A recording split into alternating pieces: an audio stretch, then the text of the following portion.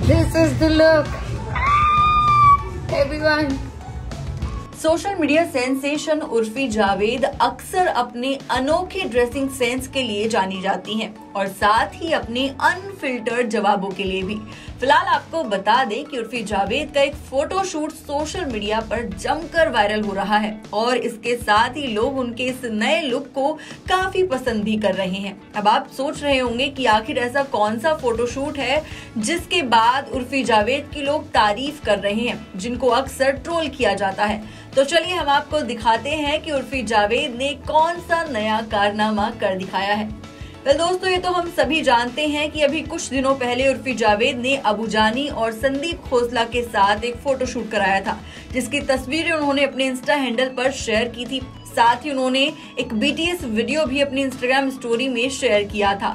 लेकिन अब उस फोटोशूट के बाद उर्फी जावेद ने द डर्टी मैगजीन के कवर पेज के लिए फोटोशूट कराया है।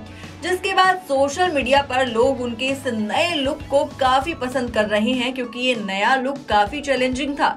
इस नए लुक को क्रिएट करने के लिए उर्फी जावेद को अपने बालों को पिंक रंगना पड़ा और इसी के साथ ही अपनी आईब्राउ को भी जो है डाई किया। इसके बाद उर्फी जावेद ने इस नए लुक में फोटोशूट कराया, जो सोशल मीडिया पर काफ़ी वायरल हो रहा है और लोग काफ़ी प्यार भी दे रहे हैं। इसी के साथ लोगों ने कमेंट सेक्शन में उर्फी जावेद की काफ़ी तारीफ़ भी की है। एक यूज़र ने कमेंट कर लिखा है, यार उर्फी, आग लगा दी। तो वहीं एक और यूज़र ने लिखा है आइकॉनिक एक और यूज़र ने कमेंट करते हुए लिखा है the OG is our UJ इसी के साथ एक और यूज़र ने उर्फी जावेद की तारीफ़ में लिखा है slay girl.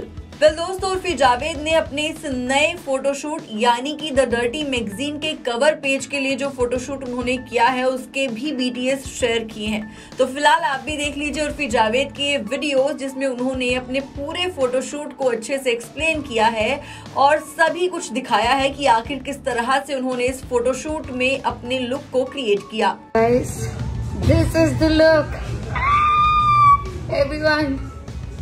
I bleached my brows and I colored my hair pink.